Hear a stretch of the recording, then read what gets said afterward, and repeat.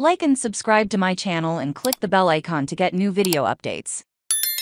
Michael Imperioli forbids fanatics and homophobes to look at his work. In a 1-1 ruling, Michael Imperioli bans fanatics and homophobes from enjoying his television or film work after the Supreme Court ruled in favor of a Christian web designer in Colorado who has refused to provide same-sex marriage services for religious reasons. I have decided to ban fanatics and homophobes from watching The Sopranos, The White Lotus, Goodfellas or any film or television show I have been a part of, the Emmy winner wrote on Instagram on Saturday. Thank you, Supreme Court, for allowing me to discriminate against and disfellowship those I disagree with and oppose. USA, USA. The Supreme Court also on Friday approved President Joe Biden's program to student loan waivers, and affirmative action in higher education, abolished Imperioli is often vocal about his politics and views on social media, having previously denounced homophobia, transphobia and racism. He has shared celebratory Pride Month posts on Instagram,